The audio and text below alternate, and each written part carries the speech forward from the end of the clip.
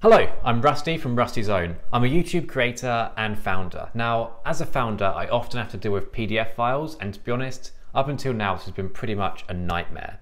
But since switching to PDFelement, it's helped make this process a whole lot easier. Not only that, but I can now almost do everything I need to do from my phone. So in this video, I'm going to show you how PDFelement works on iOS. Okay, so PDFelement is an all-in-one PDF editor. It lets you edit, convert, and compress PDF files, and basically do anything you could imagine with PDF files. So let's take a closer look. Okay, so first we're going to take a look at how you can read and edit your PDFs and even mark them up and annotate. So what we're going to do is open up the PDFelement app just here. We're into the app now, and I have a couple of PDFs that I've added on here already. Just to take a step back, um, you can add PDFs in a number of different ways.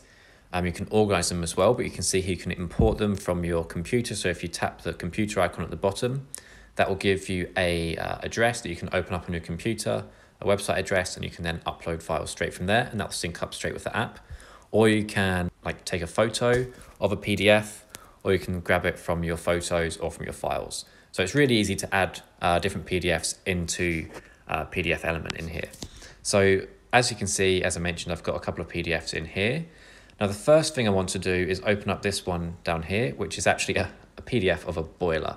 So it's not the most exciting uh, file that you could work with, but it shows how flexible this is and how easy you can actually start working with different types of PDFs. Now, as you can see, there's a lot of pages here, and the way you can read this is really easy. So you can pick a certain area like this, so you want to find out more information, you can just pinch to zoom like that, and then start looking more closely um, at this different area of the PDF file, which is really great. So it's really intuitive as to how you can move through the page. But say you wanted to highlight a certain area of this page, so say I wanted to highlight this uh, temperature selector over here, what you can do is go up to the top here where you have the uh, little highlight option, is pen, and then go over to the uh, pen option just here, and we want to click onto it again to adjust the pencil size.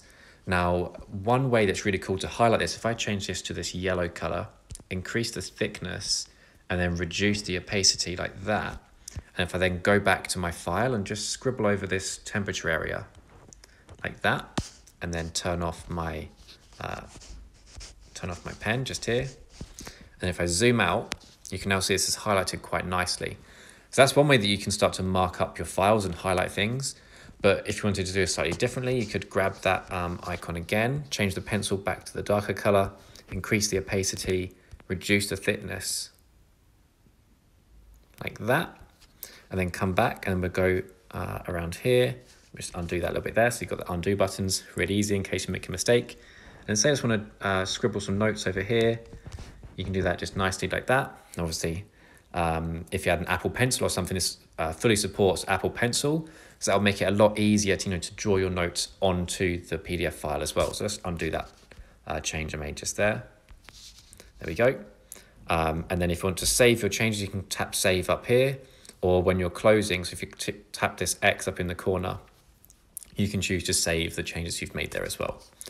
Um, so that's how you can edit um, your files. You can also add in text as well. So if I tap this uh, text box at the top and then choose somewhere on the page that I want to add my file. So if I just zoom in just here, what you'll also find is when you're adding a text box, you'll see these borders appear around other um, elements of text.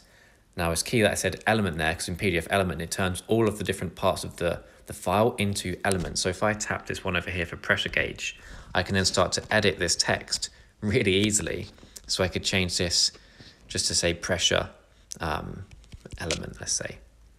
Um, and that is how easy you can add these boxes. If I wanted to then, I could add my own new text box. So I tap just here, and here's a new text box.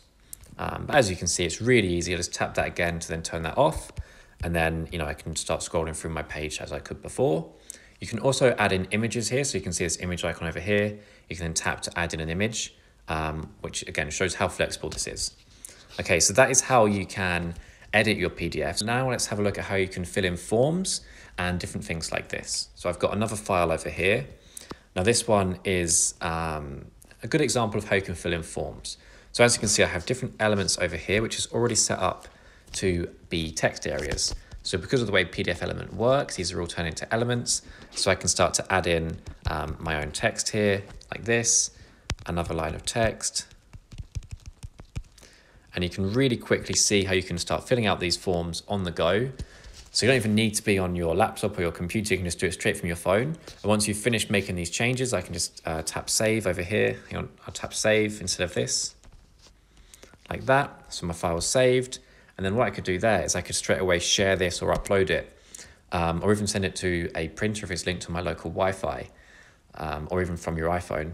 And you can start to work with all your documents on the go, which is such a powerful uh, feature to have. Now, one thing you might have also noticed um, already is that it all supports dark mode. So I like to have dark mode in all of my apps, and it's perfectly supported in PDFelement as well, which is really nice.